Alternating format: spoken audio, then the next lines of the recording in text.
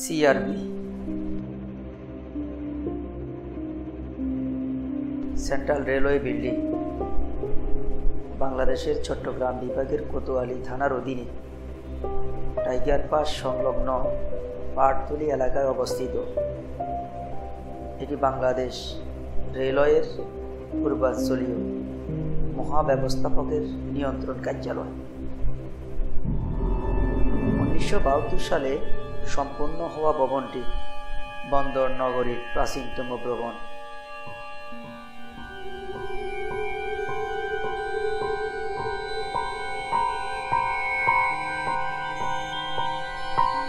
এর পূর্ব দিকে সিআরবি সড়ক জুড়ে রয়েছে রেলওয়ে, হাসপাতাল।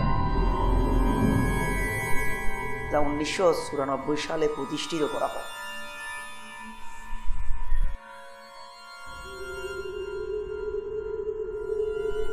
এখানে একটি পঞ্চাশ শয্যা বিশিষ্ট মেডিকেল কলেজ স্থাপনের প্রস্তাবনা ছিল। এবং বর্তমানে যা দুইশো পঞ্চাশ শয্যায় উন্নীত হয়েছে। সিআরবি পার্শ্ববর্তী স্থানে রেল কর্মকর্তাদের জন্য একটি আবাসিক এলাকাও গড়ে উঠেছে। সিআরবি পাহাড়ে রয়েছে হাতির বাংলা।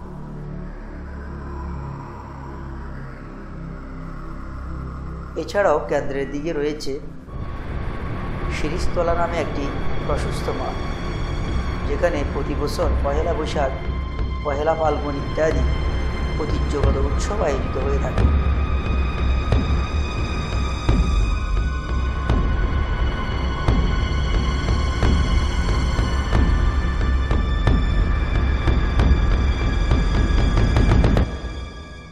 চট্টগ্রামে ব্রিটিশ ও উপনিবেশিক শাসনের দুইশো বছরের ইতিহাস বলে বাকি ভবনগুলোর মধ্যে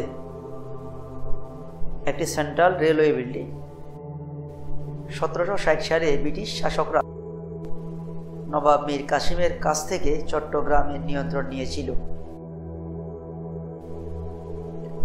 এবং ভারত বিভাগের আগে উনিশশো সাতচল্লিশ সাল পর্যন্ত এটি শাসন করেছিল।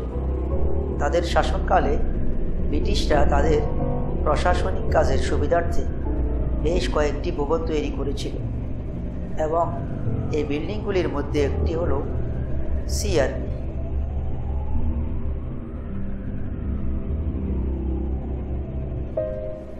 সিআরবি শীর্ষতলা।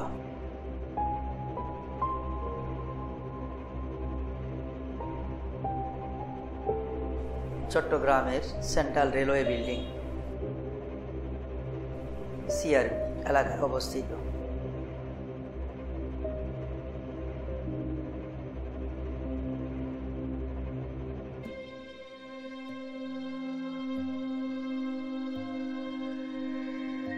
একটি মুক্ত মঞ্চ।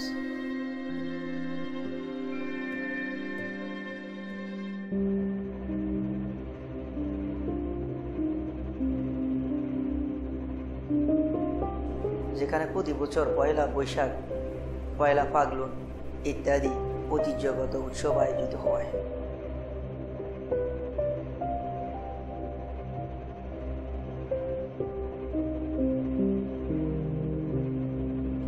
এছাড়াও সপ্তাহে প্রতি শুক্রবার এবং কি প্রতিদিনও দর্শনার্থীরা এখানে আসেন।